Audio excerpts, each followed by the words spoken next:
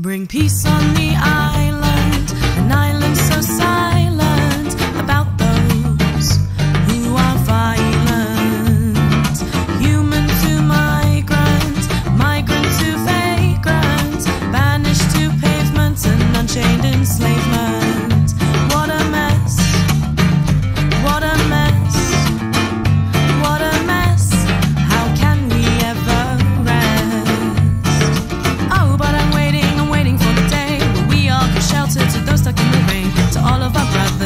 mothers and fathers who all just want to help one another.